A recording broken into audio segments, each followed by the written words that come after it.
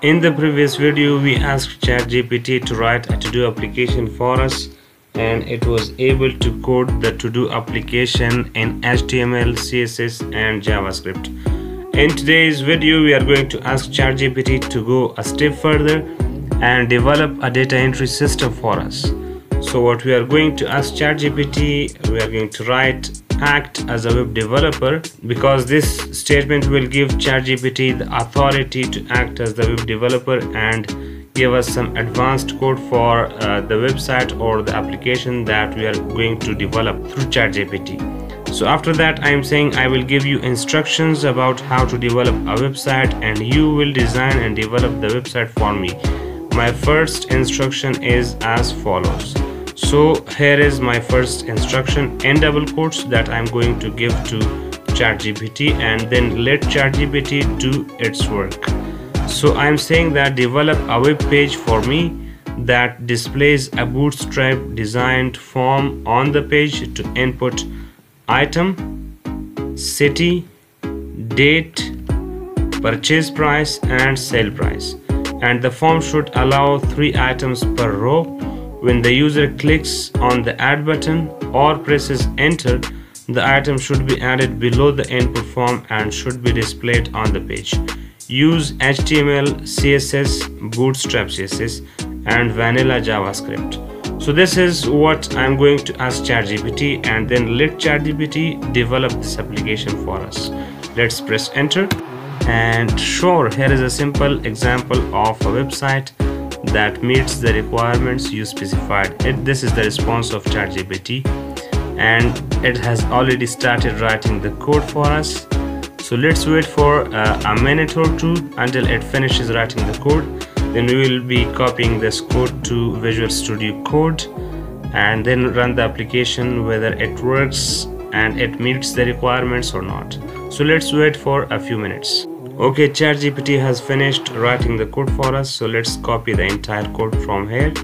Go to Visual Studio Code and in the new application that I have created by the name of ChatGPT file download and inside that application I have created a file by the name of index.html. So let's paste the copied code here and go to ChatGPT to copy the remaining code.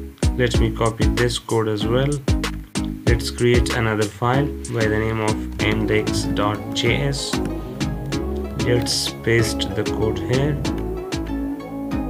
Let me write the missing const. Save the file and remember this file has already brought to the index.html page by this statement. So let's go to index.js and add the missing characters. Remember in this line we are missing something. So let's see this let's go to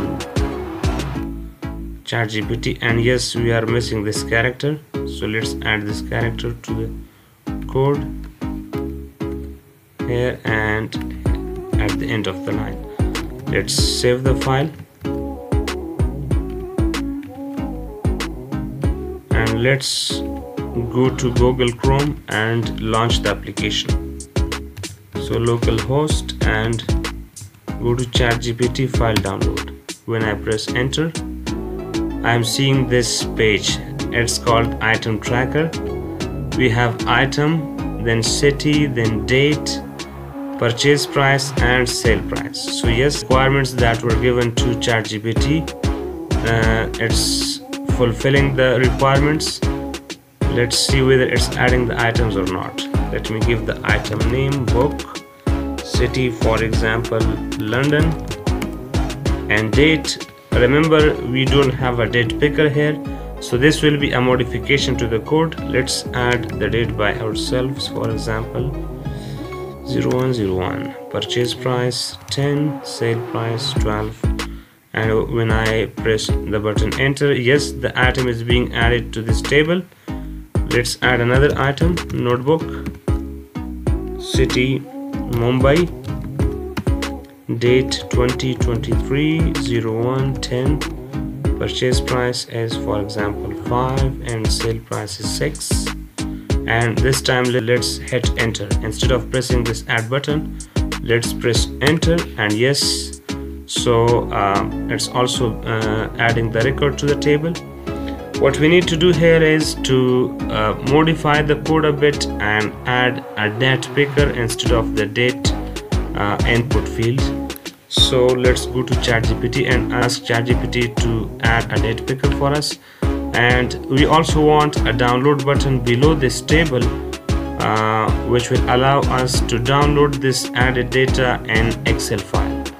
So let's ask ChatGPT to modify this for us please modify the application and add date picker for the date field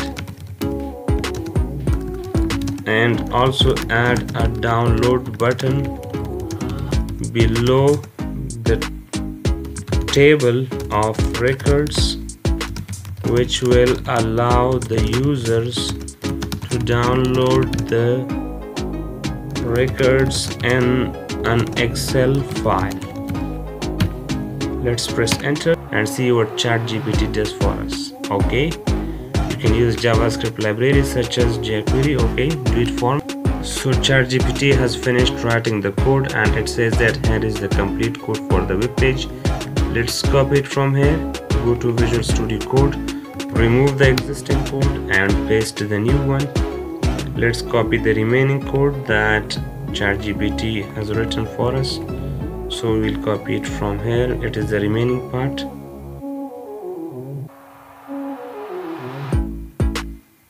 Until this let's go to Visual Studio Code and paste it. Uh, the error that we are seeing is because character was not copied from ChatGPT so let's add it manually and the error will be removed.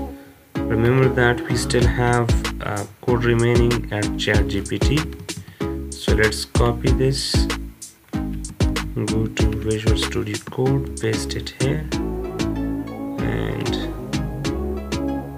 we are done. So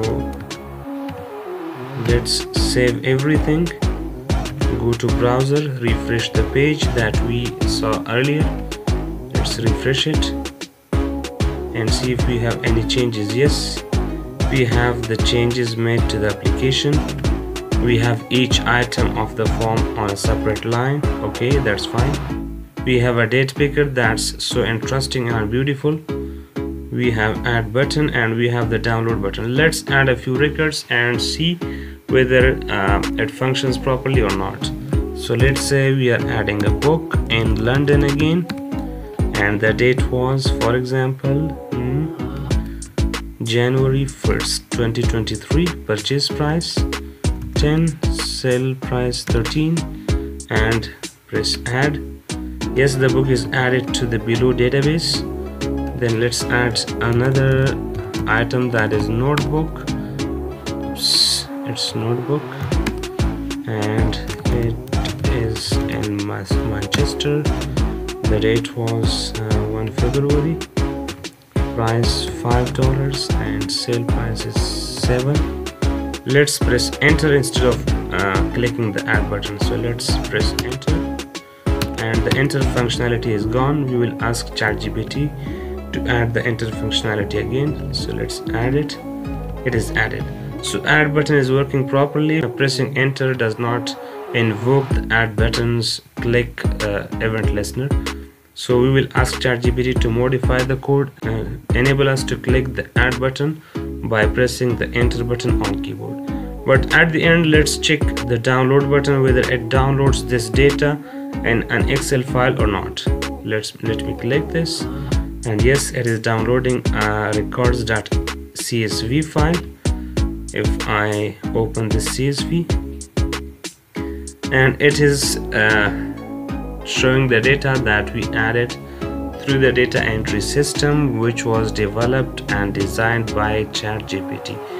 So we have developed a data entry database where we can add as many records as we want. At the end we will be able to uh, click the download button and download all the records that the users have added or entered through the input form which is designed and developed through the help of ChatGPT. so this is the power of ChatGPT that we can use it for almost any task that we have. Uh, we have created applications through ChatGPT in the past few videos and we have automated some Excel stuff as well. So for watching more videos like this please don't forget to subscribe the channel and press the bell icon so you can be notified whenever new videos are posted. Thanks for watching